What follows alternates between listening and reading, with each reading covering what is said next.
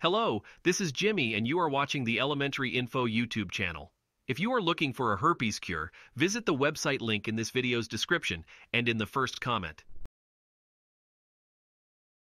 Herpes and brain.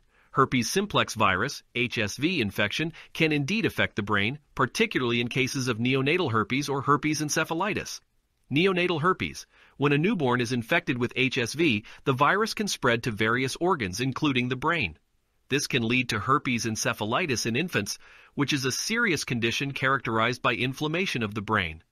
Neonatal herpes can have devastating effects on the central nervous system and can result in neurological problems, developmental delays, seizures, and even death if not promptly treated. Herpes. Encephalitis. Herpes encephalitis can also occur in adults, though it's less common than neonatal herpes. This condition typically arises from reactivation of the herpes simplex virus in the trigeminal ganglion, a nerve cluster in the face, and subsequent spread to the brain.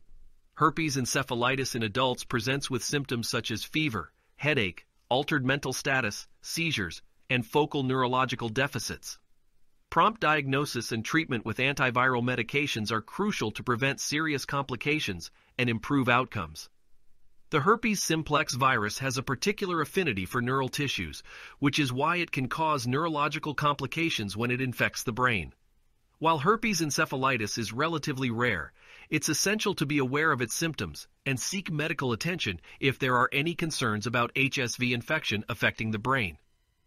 Early diagnosis and appropriate treatment are key to minimizing the potential consequences of herpes-related neurological complications.